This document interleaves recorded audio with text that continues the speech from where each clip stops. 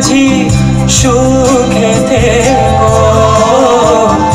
অচিনপুরে থেকে ও মাঝি সুখে থেকো। দুই কুলে দুই খান্না শুনো